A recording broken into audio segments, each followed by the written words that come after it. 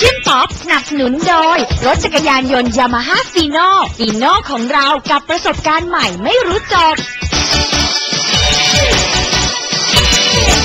สวัสดีครับ กลับมาพบกับเวทอีกครั้งหนึ่งนะครับ ในช่วง Asian Pop ซึ่งวันนี้นะครับเวทก็มีข่าวคราวนะครับ เกี่ยวกับกลุ่มศิลปิน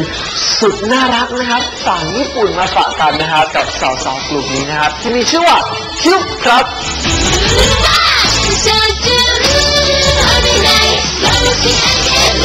คิวนะครับก็ถือว่าเป็นดาวรุ่งพุ่งแรงนะครับของ h ฮโลโปรเจกต์นั่นเองพวกเธอนะครับ ก็เป็นตัวแทนของความน่ารักความสดใสมาให้เพื่อนๆชาวไทยให้สัมผัสกันนะครับ กับซิงเกิลใหม่ที่มีชื่อว่า暑中お見舞い申し上げます ครับ